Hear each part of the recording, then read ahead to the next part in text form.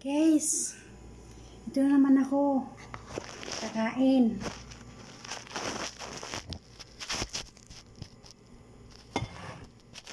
Kakain ako.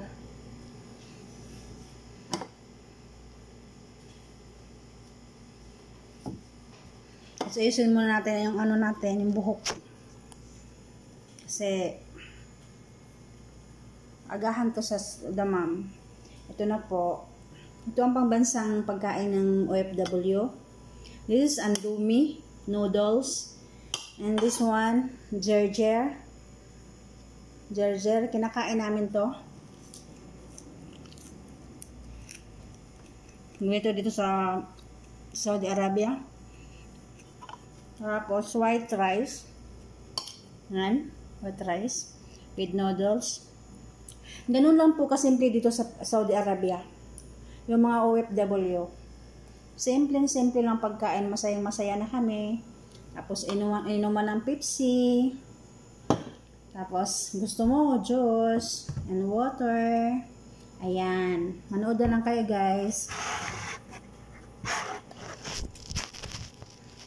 Kakain tayo. Sabayan niyo akong kumain. Kakain tayo ng noodles. Ilagay natin sa pagkain. Kain. Ang bansang pagkain ng mga OFW. Ayan.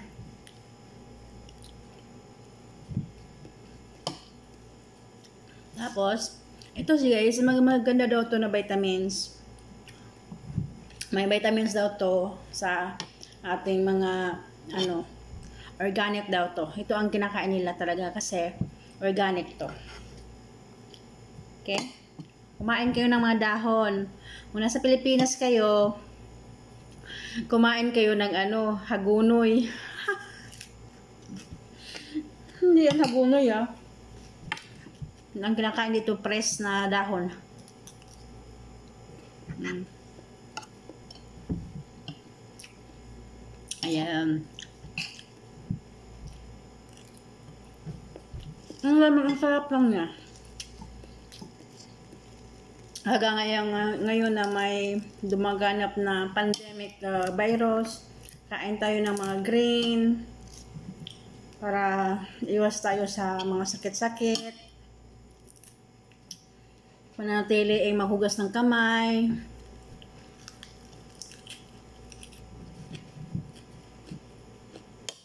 Mm, ang sarap. Tapos ito, itong zetun, kumain kayo nito. Kung kayo mga OFW, maganda rin ito sa katawan.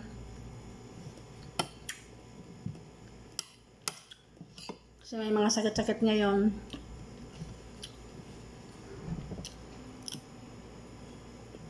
Kailangan talaga yan.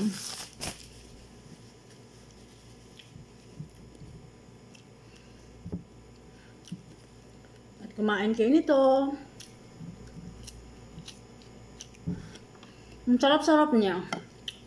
Kung maging abroad kayo, dito nyo matik matikman yan. Marami pang pagkain dito. Mga ganun, mga green.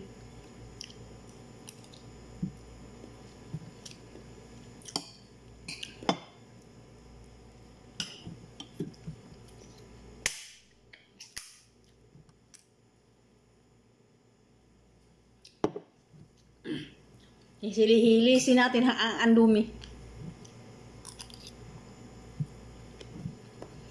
Ang sarap lang talaga. Kahit na andumi lang.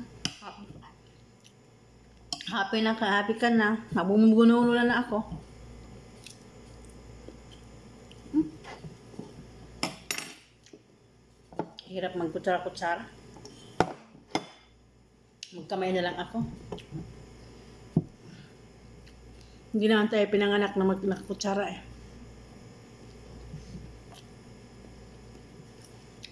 Pinanganak tayo na kamay lang. Mmm, sarap. Ang lasa niya, mapait-pait siya. Na masarap.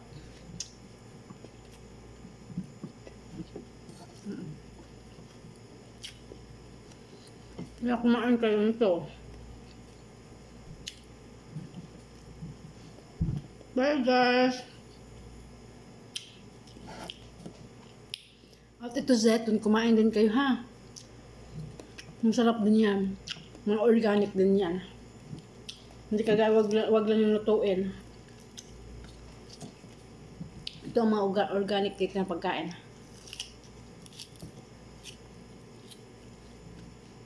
Para kami mga kalabaw, kabayo. Sa Pilipinas, ang kumakain ng ganito, mga kabayo lang. Kabayo, ka, ah, yung mga kalabaw. Isuga mo sa ano, damuhan. Pero dito, ang mga kalabaw, nandito sa bahay. Kami yun. Mahilig kami kumain.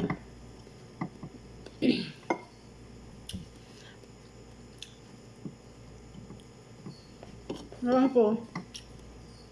Pero may ibang OFW na hindi sila kumakain ng ganito. Pero alam mo, masarap to. Ang sarap talaga. Ang sarap niya kainin. Vitamin sa katawan eh.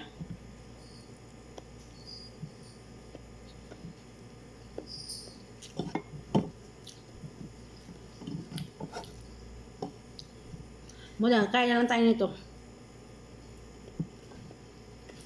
Kain na.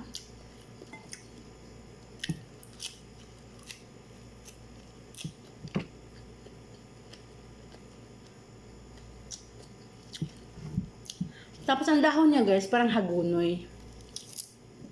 Mm Yung mga new abroad, mag-abroad kayo,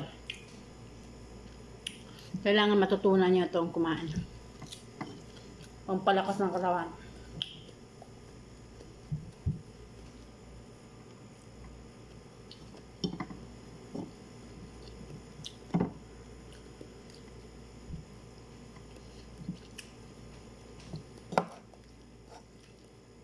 Alas 10 na pala dito.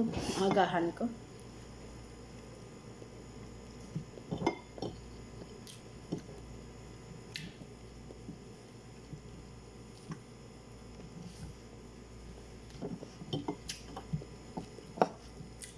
Walang arte-arte.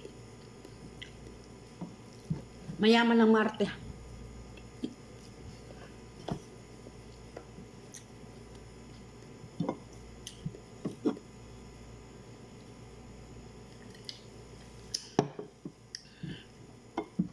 Busog na ako.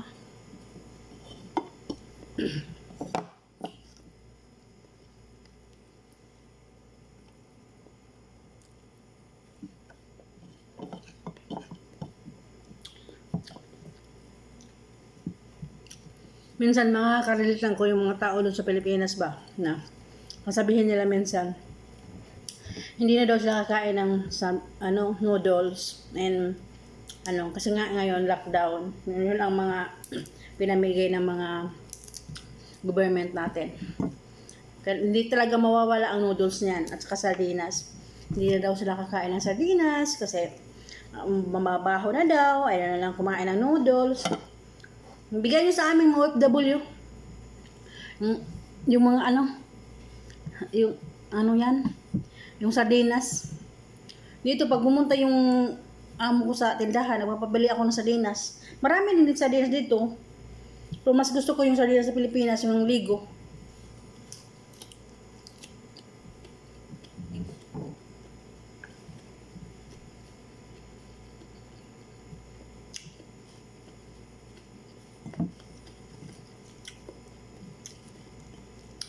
Sana naman, kayo nasa Pilipinas, stay at home na lang kayo, please. Para matapos na. Kasi kung hindi kayo mag, ano, hindi kayo makikinig sa government natin, ako, Diyos ko, aywan.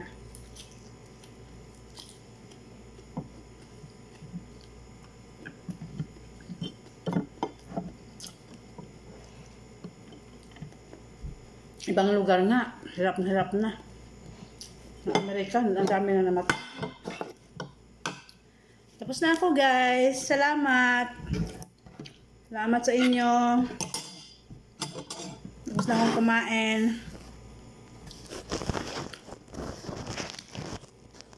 Nag-work na, na naman. Nagutom lang ako kaya ako kumain. Pero kanina pa ako nag-work. Bye-bye!